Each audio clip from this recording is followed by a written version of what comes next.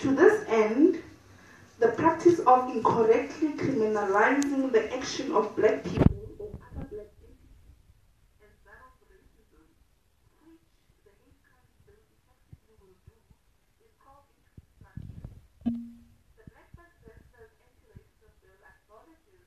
What the main is and what it take to resolve it. The bill provides for three guiding principles so as to remove instances where black and all aspects of black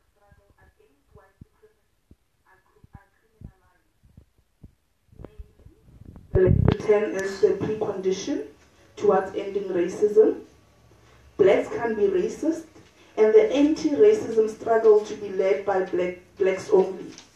In this way, idea that black people can be held criminally liable for simply responding to racism, an idea that the government hate crimes bill provides for, is eliminated.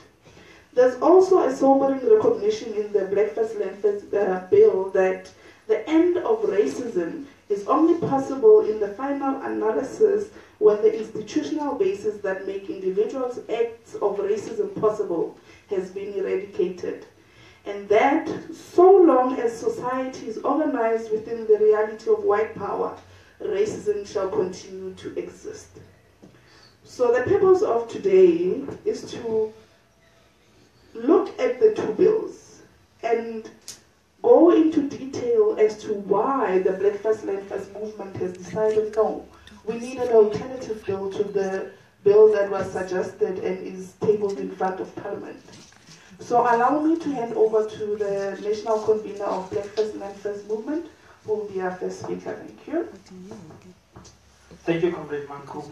And I also want to recognize the leadership of our movement uh, from the provinces, in province in particular, and the regions. And uh, I know there's some people from the branches as well who are here.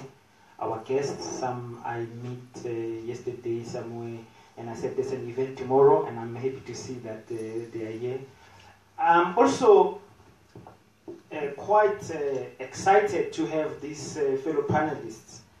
These are two brothers that I respect a lot, and I think that they are ones, they're some of the people that have quite an elevated understanding of the problems that we are confronted with.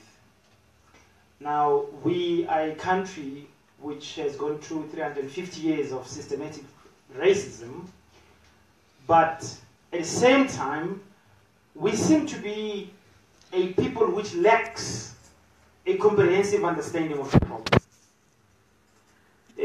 The, another time, a, a good comrade made an example of how it looks like we are under attack from a swarm of bees, but we don't know what bees are. So we have this attack, but you can't speak the problem. And we all now sitting this evening here, and I think also we must uh, appreciate that uh, taking time out to reflect on a question such as this uh, suggests that we are a people that take seriously the challenge of racism.